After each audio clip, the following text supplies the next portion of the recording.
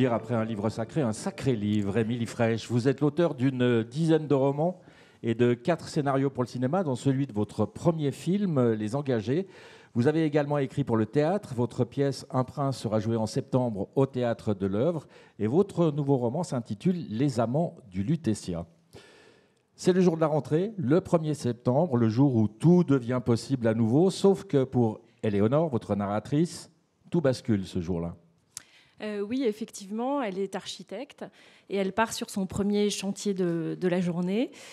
Et elle reçoit, alors qu'elle est dans le métro, un coup de fil euh, d'un commissaire de police qui lui annonce que ses parents ont été retrouvés sans vie, main dans la main, avec un sac de congélation sur la tête, dans une chambre euh, de l'hôtel Lutetia. C'est un fait divers qui est arrivé en, 2013. Euh, qui m'a tout de suite interpellée et fascinée, bien sûr parce qu'il convoquait des couples assez mythiques de la littérature, Roméo et Juliette, Tristan et Iseux, euh, Ariane et Solal, qui, sont, euh, qui se sont eux-mêmes suicidés euh, au Ritz à Genève en 1937, et aussi des couples de la vraie vie, Zweig et, et, son épouse, Hitler et Eva Braun. Donc voilà, il y avait quelque chose de d'assez romanesque. Et donc, je suis partie de ce dispositif pour raconter deux choses. À la fois cette très grande histoire d'amour de deux êtres qui auront cheminé ensemble toute la vie durant, 70 ans, et puis, dans le même temps, euh, le récit de conséquences de cet acte pour leur fille unique, Éléonore, qui vit euh, évidemment cette disparition comme un, comme un double abandon terrible. Donc voilà, c'est les deux récits euh, que racontent les amants du Lutétia. Alors effectivement, ils sont magnifiques, Ezra et Maud. Ils, ont, ils étaient âgés, hein, mais en santé. Ils ont choisi de mourir, mais ils ont imaginé leur mort, ils ont imaginé leur funérailles. Ils sont même allés jusqu'à imaginer leur succession. Ils ont, ils ont tout planifié, mais finalement en ne pensant qu'à eux-mêmes. Comme vous venez de le dire, euh, ils n'ont pas du tout pensé à leur fille, euh, dont ils ne se sont par ailleurs jamais beaucoup, beaucoup occupés euh, au, cours de leur vie. C'est vrai qu'ils ont organisé ça comme une grande fête. Et la question que ça soulève, c'est est-ce que la mort, est-ce que notre mort nous appartient ou est-ce qu'elle est l'affaire des vivants? Jusqu'ici, la mort était, l'affaire des vivants, c'est-à-dire qu'avec les rites, ça nous permet justement de surmonter la douleur, de surmonter le deuil. Euh, et, là, euh, tout d'un coup, qu'est-ce qui, qu'est-ce qui, se passe pour les gens qui restent? Donc il y a un sentiment de solitude euh, absolue pour Éléonore, qui se trouve dépossédée et aussi privée de la possibilité de prendre soin. Il y a quelque chose de, naturel dans on est aidé par nos parents pour entrer dans la vie et nous les accompagnons pour en sortir. Enfin, c'est dans, l'ordre des choses. Et quand on est privé de cela, on est privé de sa faculté, de sa possibilité d'être fraternel, et on se retrouve. Euh, on se retrouve comme un étranger par rapport à sa propre famille, donc c'est extrêmement difficile. Mais le chemin que va faire Éléonore dans ce texte, c'est aussi de se rendre compte que peut-être la disparition de ses parents, c'est un énorme cadeau, euh, c'est euh, justement des gens qui n'ont pas voulu être un poids pour leur enfant. Et elle va justement s'en rendre compte quand elle va accompagner son ex-mari en EHPAD où il a placé sa maman et qu'il est devenu un étranger face à sa mère qui ne le reconnaît même plus et que finalement les amants du Lutetia ont épargné ça à leur fille.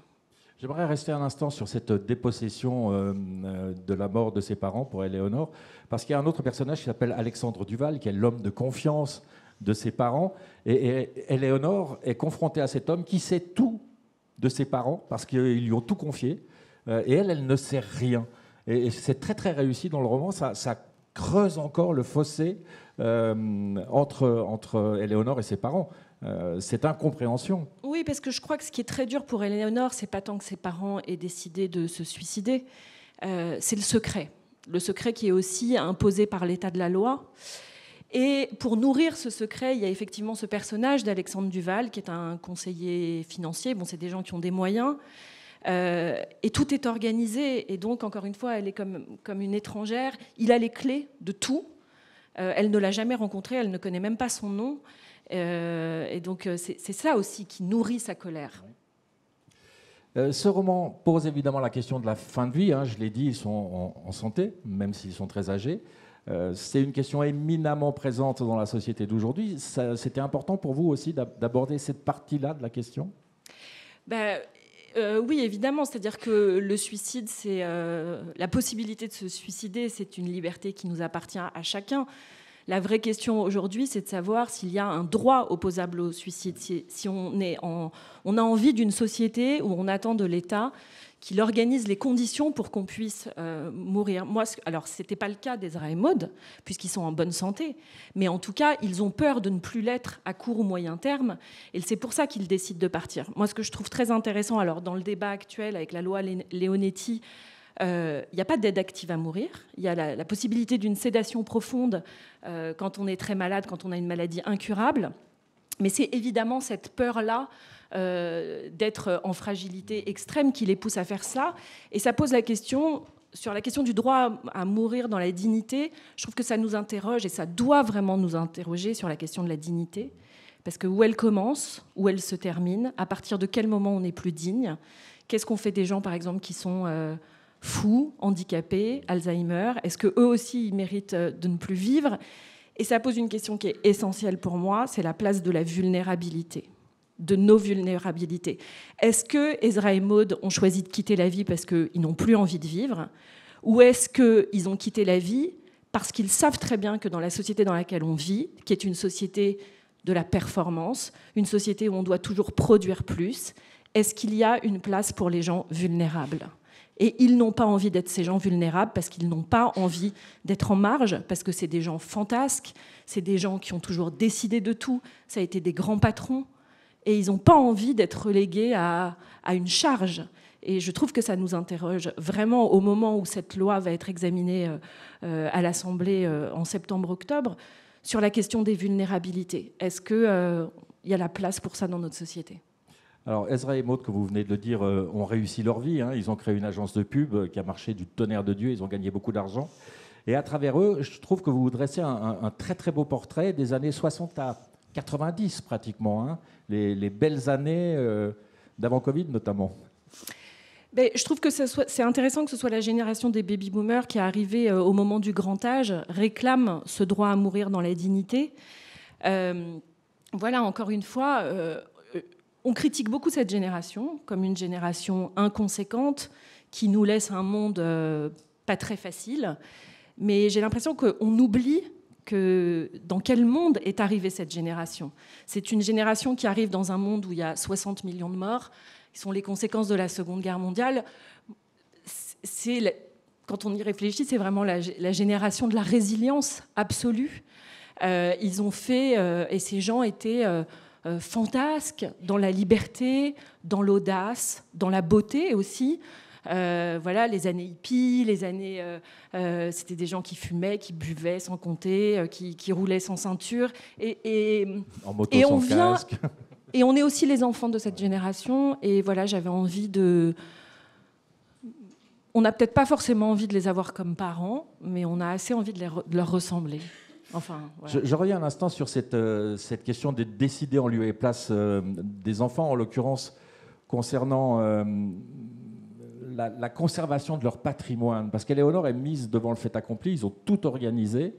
Et, et, vous dites carrément, elle a le sentiment d'avoir été bernée comme une enfant.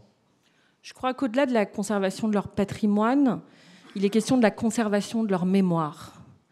Et c'est la question de savoir si l'héritage est un cadeau ou un poids et quelle est notre part dans notre vie d'invention et d'imagination. Euh, et euh, organiser euh, le legs de cette maison pour qu'elle reste dans le patrimoine, c'est faire l'heure, cette phrase de Jean Kelevitch qui dit Les morts tiennent entièrement sur notre fidélité. Et ils veulent qu'Éléonore soit fidèle à la vie qu'ils ont eue et qui passent, on, en reviendra sans doute sur cette maison des bulles qui est si importante dans leur vie, qui leur a pris tant de temps, tant d'énergie et tant de créativité. On va en parler de cette maison parce que c'est un vrai personnage du roman. Mais ce qui est intéressant, c'est que finalement, le, fils d'Éléonore, euh, on a l'impression qu'il comprend beaucoup mieux ses grands-parents que Éléonore ne comprend ses parents. Ça a créé un problème entre la mère et le fils d'ailleurs. Bah, je crois qu'être grand-parent, c'est euh, une séance de rattrapage extraordinaire. Mais souvent, ça saute une génération. Hein. Tout ce qu'on a raté avec ses enfants, on peut le réussir avec ses petits-enfants. Il euh, n'y a pas de compte à solder. Euh, en tout cas, il y en a. Voilà, il y a, et il y a aussi la parole retrouvée. C'est-à-dire qu'il y, a chez Simon une curiosité que la colère euh, dont, dont Éléonore a été privée en raison de sa colère, en, raison de, de elle en veut à ses parents pour plein de raisons, parce qu'ils n'ont pas été suffisamment là, parce qu'ils se sont consacrés à leur boîte, euh, parce qu'ils ont été euh, de, fantastiques égoïstes. Et, et Simon, évidemment, n'a pas cela. Et cette parole retrouvée, elle est très importante, parce que Simon va poser des questions qui vont lui permettre de voir ses grands-parents comme des individus. Et c'est aussi le chemin initiatique que va faire Éléonore. On rentre dans ce livre avec un personnage qui est une fille et qui petit à petit euh, va se déplacer et va réussir, et notamment grâce à son fils, à voir ses parents autrement que seulement ses parents. Et euh, voilà, c'est ce chemin-là aussi de la réconciliation qui passera par son fils. Alors votre roman pose aussi une question qui me paraît importante, c'est celle de de l'importance des lieux dans lesquels on a grandi. Ah que deviennent-ils ces lieux euh, une fois que les parents s'en vont? Bah, dès que les gens ont un peu d'argent, ils ont envie de s'acheter une maison. Euh, j'ai l'impression que la maison, c'est, la dernière utopie politique. C'est là où on a envie d'être heureux, c'est là où on a envie de s'enraciner. On s'achète une maison pour se créer des souvenirs. Et qu'est-ce que deviennent ces maisons quand euh, les parents partent? Euh, évidemment, c'est pas simplement euh, l'aspect financier d'être séparé de sa maison, c'est d'être dépossédé de son enfance, dépossédé de son passé.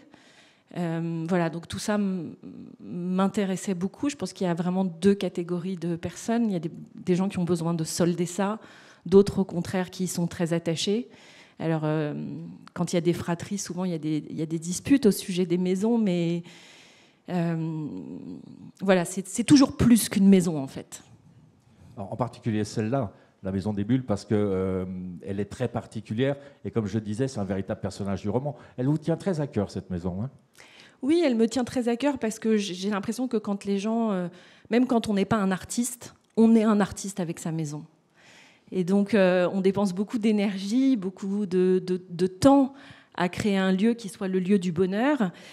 Et j'ai eu un véritable euh, coup de cœur pour un architecte autodidacte qui s'appelle Jacques Quell, qui, était très avant-gardiste, qui faisait des maisons paysages, qui étaient des maisons euh, assez écolo et qui, euh, qui s'adaptaient au terrain, qui étaient tout en rondeur et qui correspond pour moi à l'utopie des années 60-70 après, euh, après euh, un génocide sans précédent dans l'histoire de l'humanité, de créer une architecture qui soit sans arrêt, sans angle droit, tout en rondeur. Évolutive dans le temps aussi.